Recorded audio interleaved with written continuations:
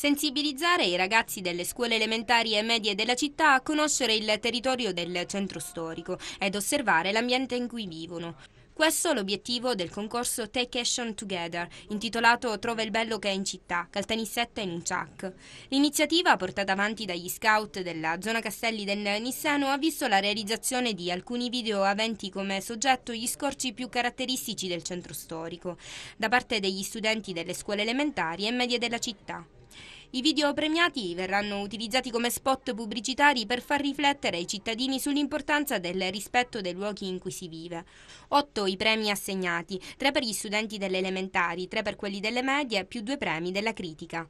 Per la scuola elementare il primo premio è andata alla quarta B dell'Istituto Lombardo Radice, seguito dalla quarta A della Santa Maria Mazzarello, vincitore anche del premio della critica, e della terza C della Don Milani. Per le scuole medie, primo premio alla prima C della Giovanni Verga, secondo e terzo premio rispettivamente della seconda C della San Giusto e della prima D della Rosso di San Secondo, mentre il premio della critica è stato assegnato alla prima A della scuola media di Santa Barbara.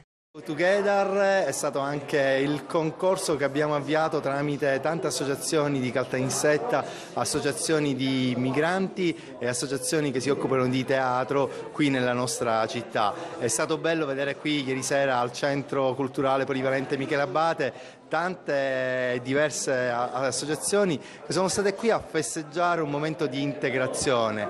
Non abbiamo voluto parlare di multiculturalità, ovvero di tante culture messe assieme, ma di interculturalità, eh, un'integrazione tra le culture affinché ognuno ha portato eh, se stesso, ha portato le proprie tradizioni, ha portato tramite una danza, un canto, un video eh, la, propria, la propria nazionalità. I ragazzi hanno hanno accolto eh, con entusiasmo questa nostra proposta e accompagnati dalle insegnanti sono andati infatti per le vie del centro storico a trovare proprio quello che per loro poteva essere considerato bello. Uno degli obiettivi del concorso era proprio quello di far conoscere il proprio territorio ai ragazzi e eh, di eh, pensare a un progetto che potesse eh, riqualificare e eh, diciamo così, dare valore a quello che potrebbe essere eh, un elemento del, del territorio che loro hanno voluto proprio riprendere.